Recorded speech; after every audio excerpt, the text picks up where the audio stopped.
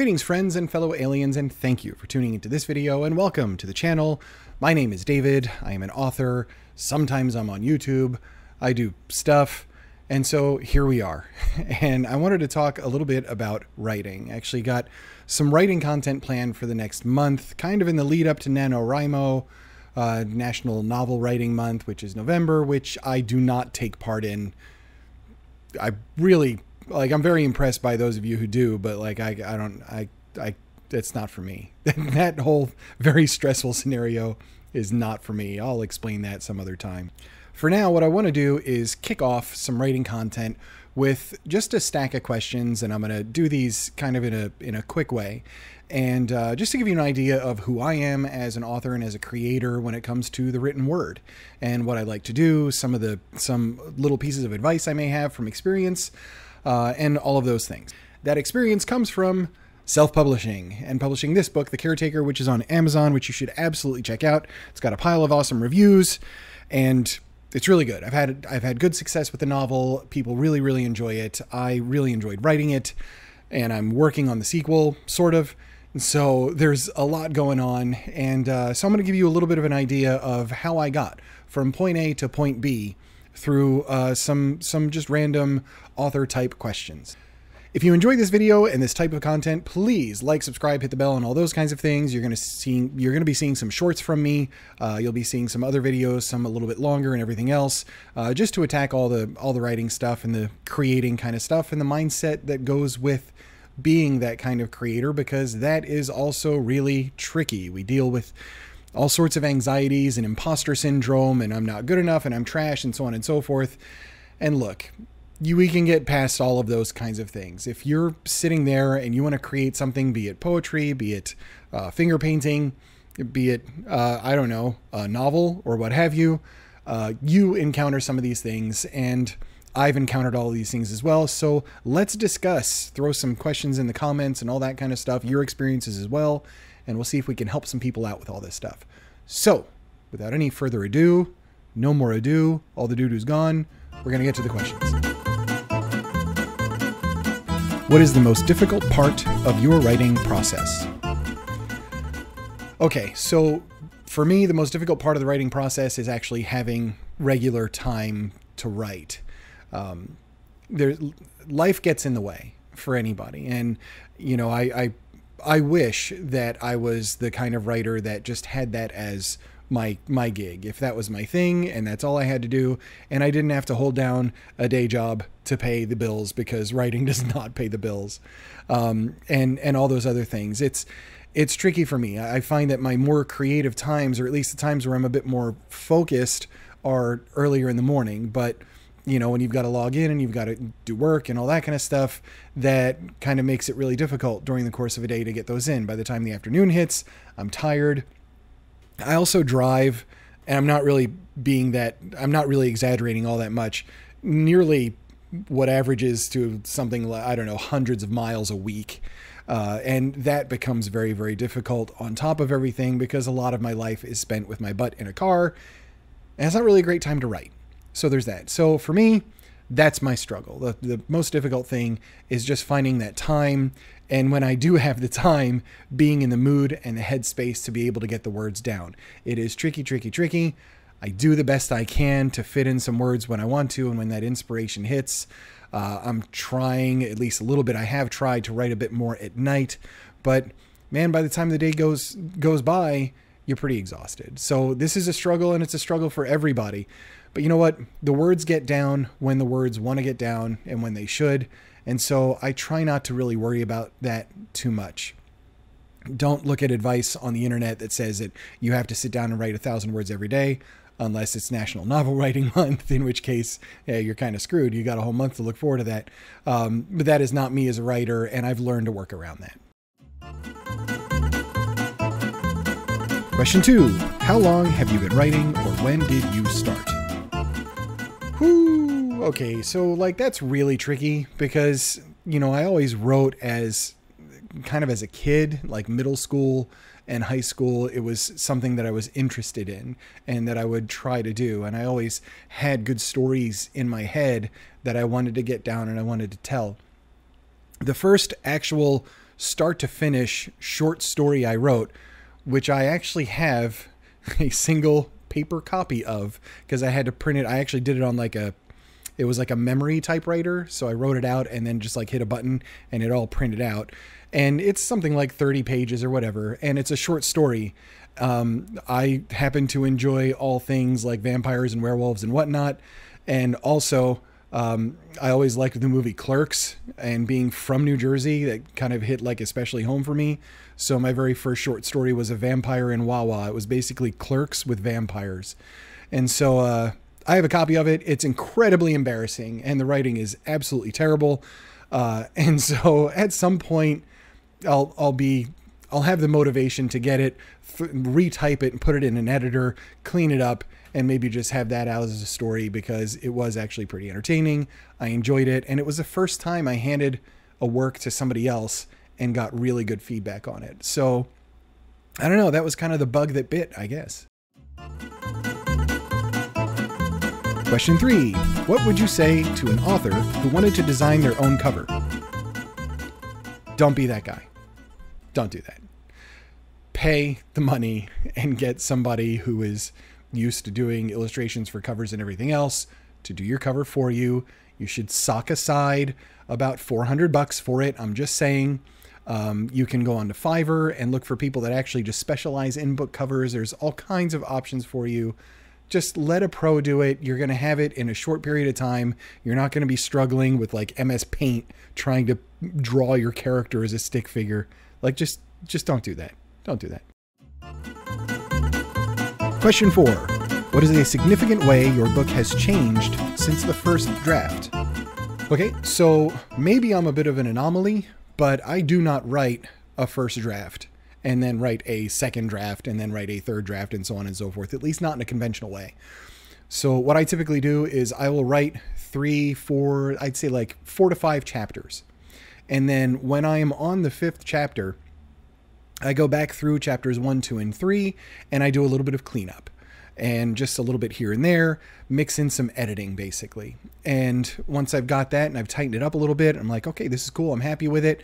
Then I'll I'll go on and I'll write chapter 6, chapter 7, and then I'll go back and I'll do a little bit of editing on chapter 4 and chapter 5, and then I'll write chapter 8, chapter 9, and I'll go back and I'll do a little bit of editing.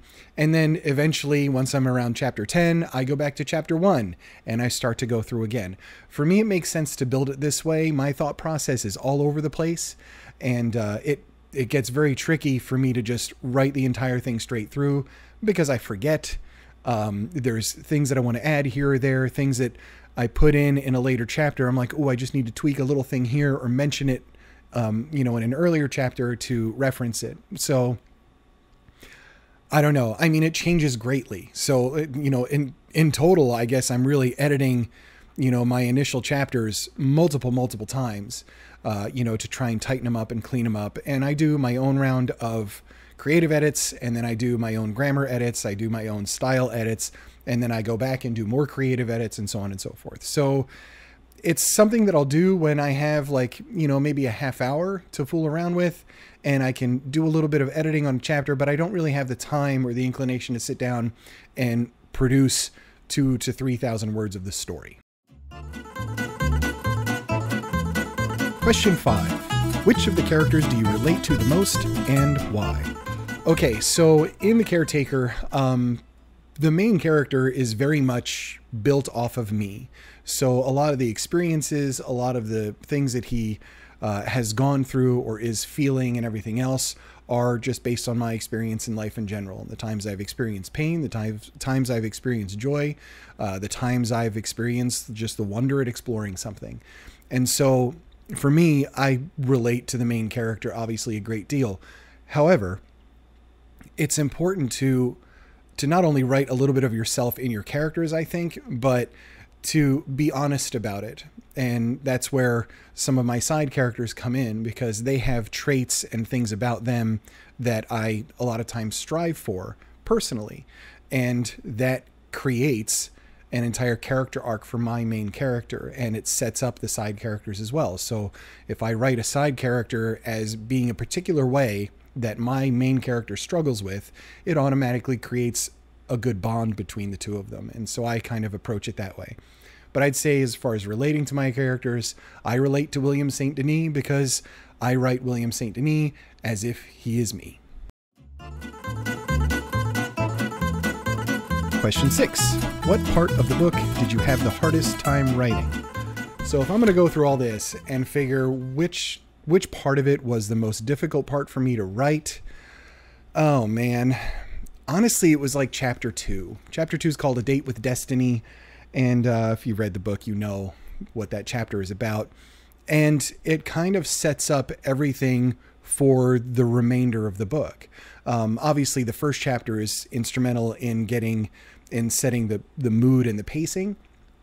That second chapter is the one that kind of sets up everything. So, what I found that I had to, to continually do is as I was writing it and the story was changing a little bit from what I had planned, I was constantly going back to that second chapter to just tweak the dialogue only a hair, like adding in a couple words here or there to provide those as something that was some foreshadowing for much, much later chapters, 80,000 words later, essentially. So that's the one that I was always going back to and restructuring and redoing and redoing and redoing and everything else. And I really wanted to nail it because that that sets up the emotional connection that William has that is the basis for all of his actions throughout the entire novel and it was really really important to nail that piece.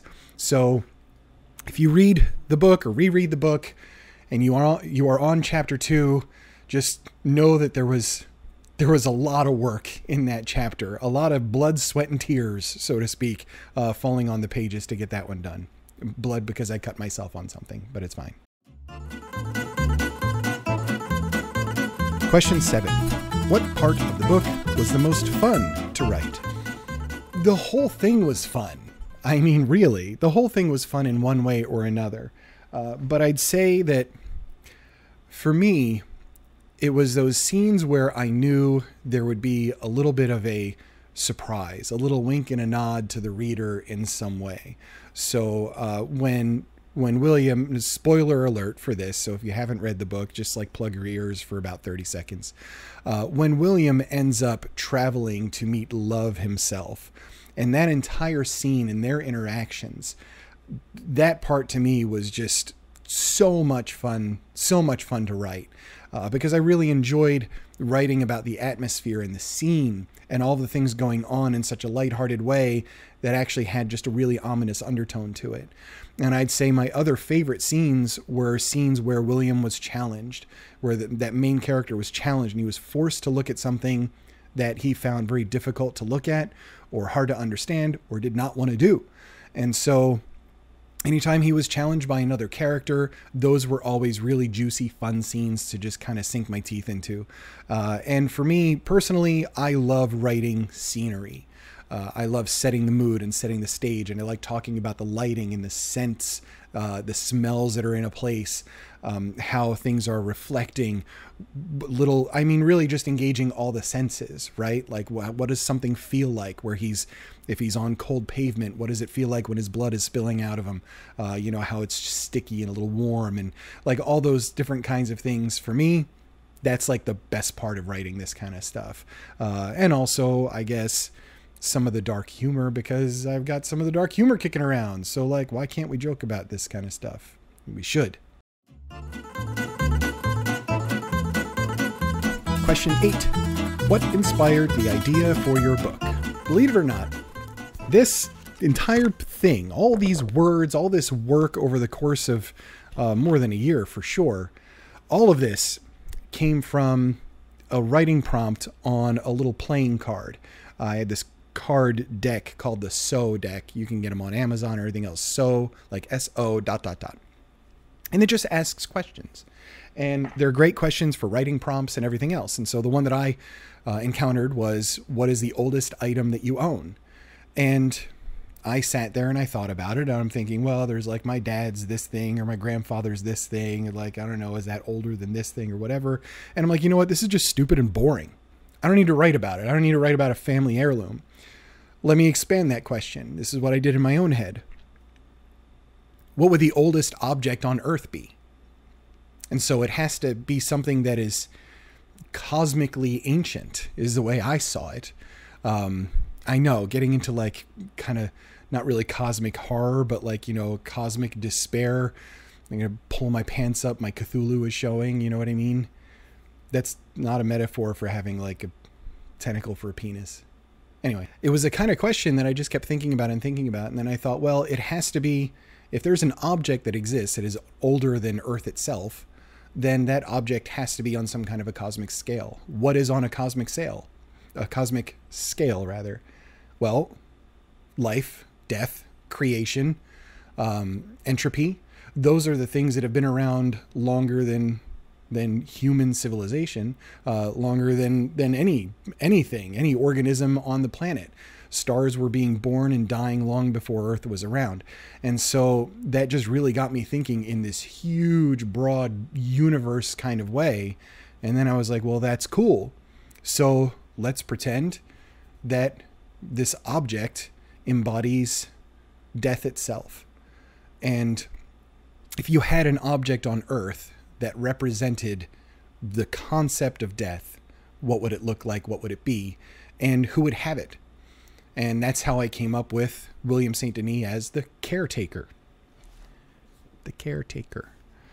So his job is to take care of what ends up looking like a blade, an old uh, knife, and that knife is death itself. And that's how he becomes the caretaker for death through all sorts of stuff. And this is the entire story. So you get the idea for it. It all stemmed from just a little writing challenge. I wrote about 500 words on it. What's the oldest item you own or you have? And I just ignored that and went oldest item ever. And then wrote a little scene that turned into the first chapter of the book. So there you go. Inspiration is like everywhere. You just got to be listening for it, really.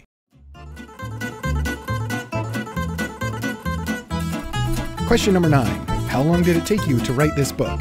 Uh, all right, so like straight writing time, it's really difficult to, to pin it down, but I'd say roughly about a year. Um, you know, and, and again, I mean, with kids and a job and everything else going on, it's it's difficult for me to sit down and just have that dedicated writing time.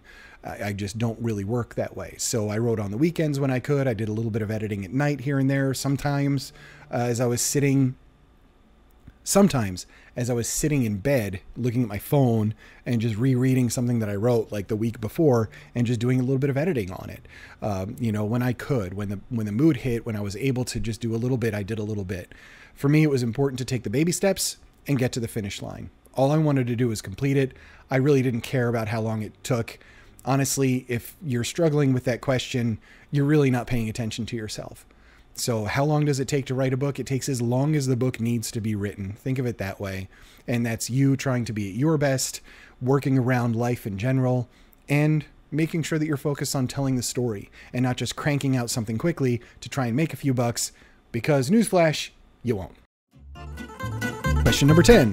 If you were to write a spin off about a side character, which side character would you pick? There's a bunch of characters in here, and I was thinking about this question, and it's really, really hard for me to, to come up with to come up with like even a, a hierarchy of who I would want to write a side story about. Um, the first one that pops into my head is probably Duncan. Duncan is introduced a little bit into the book as um, a kind of foil. He's the logical voice for my very emotional main character. And so, for those of you keeping track with the whole MBTI thing, William is written as an INFJ, or at least a lot of INFJ tendencies, and Duncan is written as an INTJ. And from personal ex- personal experience, those two work really well together, but also can irritate the crap out of each other on a regular basis because one is much more logical than the other. And those different languages make it really interesting. And everything in life is about balance. And so I put Duncan in there specifically to get under William's skin and to help him grow and see things in a different way and mature out of his very immature view that he starts out. When the book starts in the first chapter, William is pretty much full on nihilist. And by the end of it, he starts to come around. And a lot of that is due to Duncan. Duncan was a blast to write. He was super fun because I could be sarcastic, I could be a little angry about everything.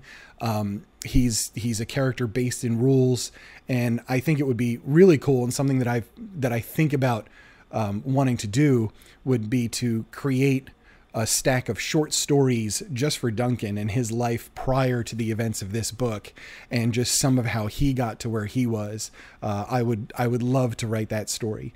One of my other characters that that I really really enjoyed writing was Emmanuel, and I think an older character like him who's allied with everything involved with love and feeling would be a real blast to write about um, because of the different experiences and the different timeline of his life there's really no character in the book that I wouldn't want to write more about. But if I had to write a spin off that was dedicated a little bit longer, Duncan gets my vote. Question number 11 Have you ever traveled as research for your book? I have not traveled as research for the book, but I have done a fair amount of traveling. I have lived on the east coast of the United States, I've lived in the Midwest, and I've lived on the west coast of the US. So, and I've driven the entire length. I have seen a lot, I've experienced a lot. I have been to other countries, I've been to Canada, I've been to Croatia, I've been to Italy. I was in what was Croatia, and when it was Yugoslavia, I was to a country that doesn't exist anymore, which is kind of cool too.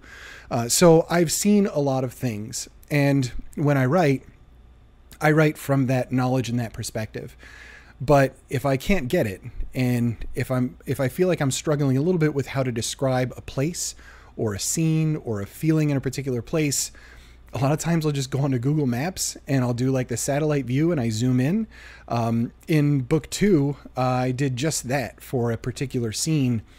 I I was traveling in Boston a few years ago and I was down this weird little alley on this side street that was just like I don't even know why the side street was there. And there were these set of doors, these giant like oak doors that were like 15 feet tall with these huge uh, cast iron gargoyle head knockers on it. No sign anywhere as to what this building was. And let me tell you, I took a picture and that picture just had my head spinning of like what is in this place that it's got this cool like ancient looking door on the middle of a street next to a place that was like for pancakes and stuff because I was there for breakfast. So I knew as soon as I snapped that picture that that picture is going to be in a story. And sure enough, it is a location in the second book. To remind myself of what it was like, I went on to Google Maps. I found it again by looking for the pancake place that I went to. And uh, and then looking around on Street View like like a lost tourist, but just online and then understanding what that alley looks like and what the buildings look like, where the shadows were, and all those different things. And that helped me write the scene. So I'd say, look, if you can't travel for the book and you want to write about some other place, go there online. Super easy. You can find all sorts of people vlogging about any different place, just like a little travel vlog, and you get a sense for what it's like, what the people are like, and everything else. Yeah, maybe you can't hit the the smells and the tactile feeling of it, but it's a huge help for a writer that wants to write in locations outside of your own neighborhood. Question 12. When you're writing an emotional or difficult scene, how do you set the mood? I like to light some candles and pour a little champagne. No, different kind of mood. Um, so, setting the mood for a scene that's, let's call it emotional or difficult. Um, I mean, I, I, definitely prepare myself with music, and that's very important to me. Um, you know, just to, to kind of set the stage. I'm I'm mood driven, so by having some music that's a little bit more depressing for a scene that's a bit more emotional, I'll do that. Something a little bit more uplifting, I'll do that. So I'd say that for setting the mood, I, I prepare myself mentally for a scene that I know is going to be difficult to write emotionally, and then I try to nail it that day of when I know I got to write it. Question number 13 How did you celebrate when you finished your book? That depends on how you define finished. I mean, wrote the last word, I didn't really celebrate all that much because after that, it's all the editing and it's all the formatting and it's all the cover art and the copyright, like the all the all the other stuff that's involved, which is kind of a drag. But I'd say, I, I mean, I probably like got myself my favorite sandwich or some such thing. Like that's something normal to do, um, you know. And certainly by the time I got the book and it was in my hands, and I opened it up, And I was like, well, that's that. So really at that point, like I'm done. I got to let go and I just got to celebrate and celebrate getting it out into the world and hope people like it. Question number 14. Do you play music while you write? And if so, what's your favorite? I can I can go through this book with you and point out different chapters and tell you exactly what I was listening to and according to the mood of the chapter.